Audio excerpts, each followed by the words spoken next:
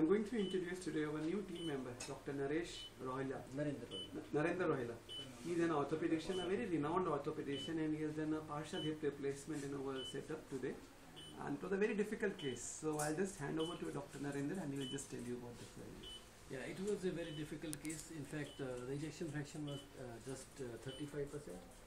So it was very difficult uh, surgery. So we replaced uh, the uh, lower part, that is called stem, and uh, so this is the hemi replacement, bipolar uh, hemi replacement arthroplasty.